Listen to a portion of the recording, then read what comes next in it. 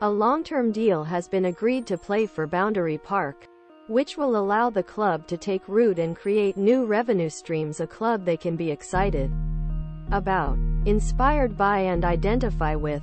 We look forward to getting started. Phil Clarke claims St. Helens cheating in explosive comments a historic day for a historic club. We don't want to outdo ourselves and know have a lot of work ahead, but feel like can do something special here. I want to give things back.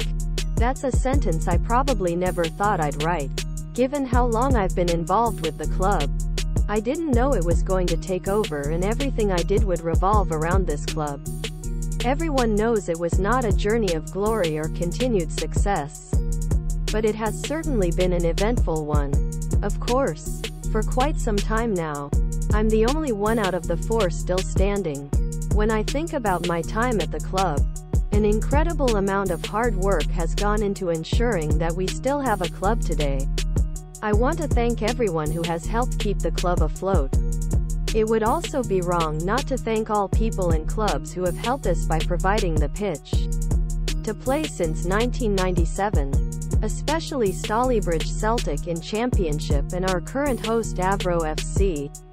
Of course, we've accomplished much more than just keeping a club afloat. Our promotion to Championship, the number of grand finals we played, our being one game away from Super League. The list could go on and on. However, this is also a time to look ahead.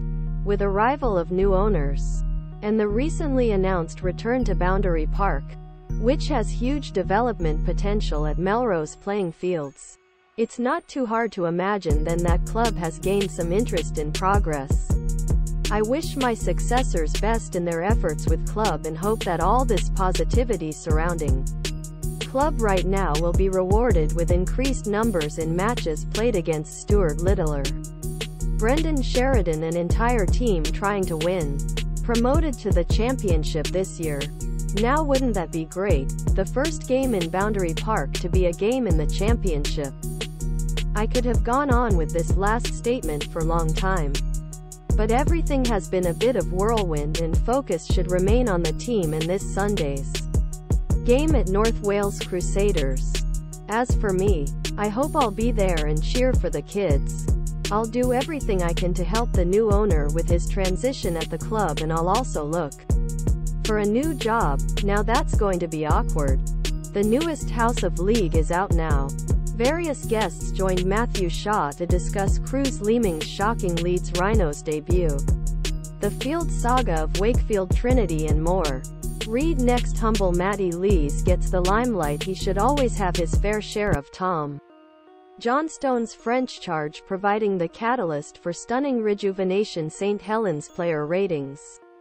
With Matty Lees praised for iconic look Ian Watson excited by Huddersfield Giants' progress. Despite recent defeat Matty Lees' iconic performance likened to Stuart Fielden and James Graham. After St. Helens' victory,